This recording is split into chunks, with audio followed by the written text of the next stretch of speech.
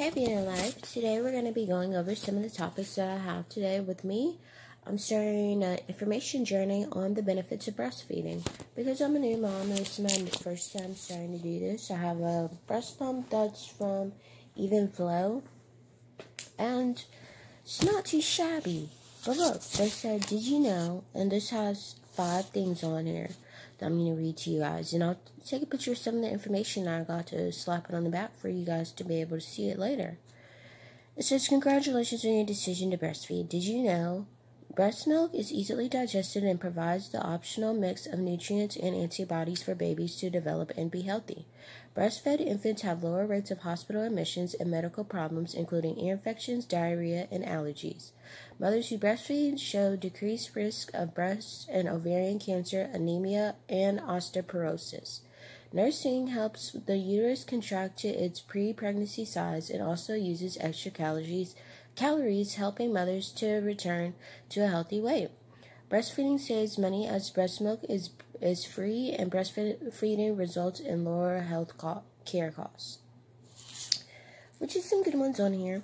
Also, another packet that I got, it has some other benefits on here. And like I said, most of the videos for now, I'm going to be reading straight from here because I'm learning as well, just as you guys are learning. But as I get more information, of course, I will have more knowledge, and then I will just have the link to the information to include into the video with you guys. So it says, why is breastfeeding beyond six months important? Breastfeeding beyond six months can help improve the long term health and well being of both you and your baby.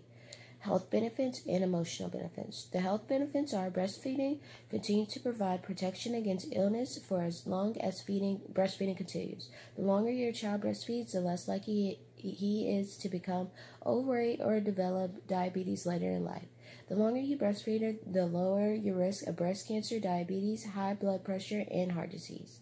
The emotional benefits Nursing can be a great way to comfort your older baby or toddler when he is ill, tired, upset, or hurt. Many moms will tell you this is one of the greatest benefits of nursing beyond six months. These are just a few of the reasons that the American Academy of Pediatrics, the American Academy of Family Physicians, and the American College of Obstetricians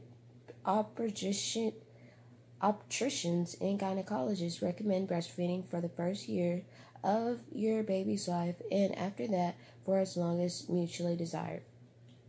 So right now, that's why I'm researching because I'm still on the health benefits part.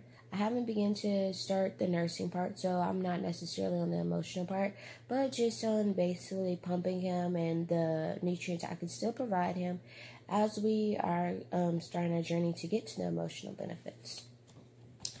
So, what if the baby is teething? Breastfeeding can continue even when your baby is teething. Physically, it is impossible to bite and nurse at the same time. This is because your baby's tongue is between the bottom teeth of your breast. However, teething can cause your baby's gum to hurt and itch. Some babies may try rubbing their gums on their mom's breast to soothe the sore, soreness. Here are some tips to avoid this.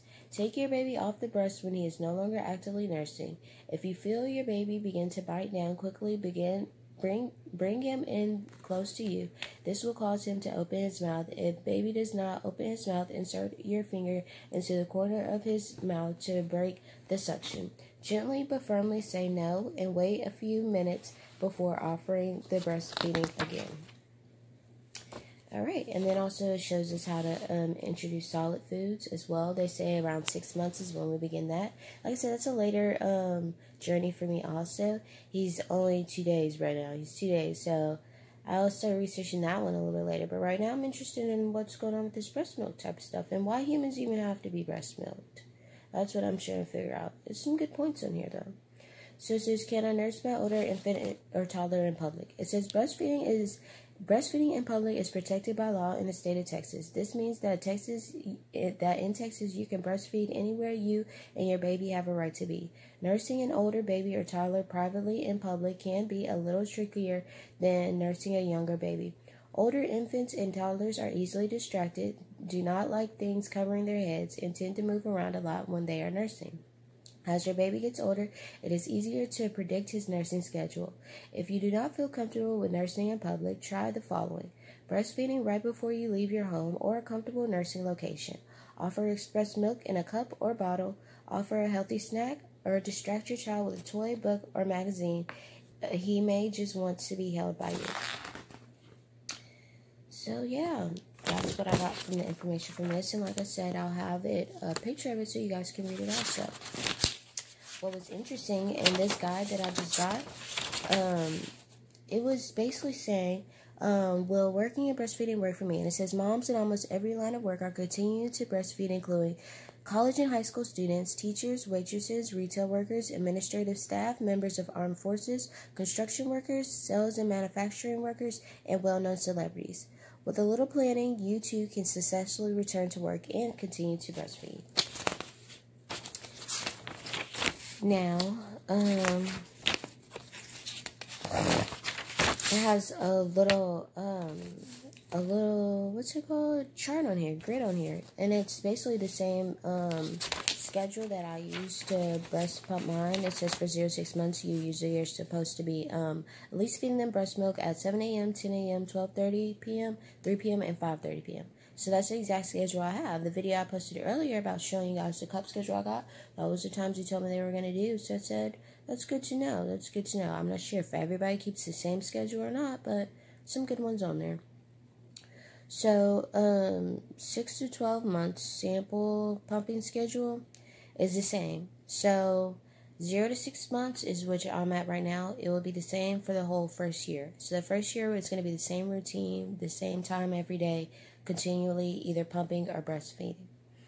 And that's even if you are including the solid foods, I'm guessing, because they said um, on here they have a schedule for pumping schedule. So I'm just guessing it might just be a little extra milk. It just depends. Also here it says the temperature because as you guys seen, you guys probably was concerned. Why didn't you put it into the refrigerator? Why did you make your own your room? It says um, for locations, they have several locations on here that um, are on the grid. The countertop location is um, best used within three hours. Still safe to use within three hours. And the temperature is room temperature must not be higher than 85 degrees or 29 degrees Celsius. Containers should be covered and kept as cool as possible, which is basically how mine is, as you guys saw. Second one, it could be an insulated cooler bag, and this is best used within 24 hours. Still safe to use within 24 hours, and keep ice packs in, co in contact with milk containers and limit on limit opening the cooler bag. The refrigerator method Best used within three days. Still safe to use within five days. At a below um, at or below 39 degrees Fahrenheit or 4 degrees Celsius. Freezer section inside of the refrigerator, two weeks is best within use. Still safe to use within two weeks, and the temperature is at or below 5 degrees or minus 15 degrees Celsius. And then the freezer with separate door or deep freezer is best used within six months, still safe to use within 12 months, and below zero degrees Fahrenheit or minus 7 degrees. So, the interesting one that I see is freezer. Freezer. So, the frozen milk, you can just take it out like a little slushy for the baby, and it still will be good within six months. So, that means if I pump right now and I put one into the freezer and I bring it out six months later, he'll still be able to drink it. That's what that means. He'll be able to drink it. But I mean, would it be watered down? Would it still be the same type of milk? Would he be interested to drink it? These are things that are weird and strange that you know I might try out the house. I don't know. I might put it into the outside freezer. And then say on my birthday I just bring it out and I have them drink it like a little margarita. We don't know. These are some nice ones on here. So, these are some good points here's some good points. Because, like I said, I mean, all of us humans had to be breastfed some type of way. I can't remember when I was breastfed. Can't remember. So we don't know anybody's technique. But I mean, I guess you always can be, you know, creative with the things that you do. But it also has, like I said, health and emotional benefits based off what you do, how you do it, and the relationship that you have with your child. So these are things that we're learning because I'm starting to learn some stuff too just by um, pumping milk, just as a mother that's what I'm starting to learn some things too. So that's why I really got interested on what all is going on with breastfeeding because I know that I probably was breastfed as a baby, but some women actually don't breastfeed. They choose just to go to, with the Similac or just with the formula type of milk. It just depends on what type of person you are. So I wanted to start researching this type of stuff. so yeah, um, continue to like, share, subscribe, and comment and let me know about what you guys have to say.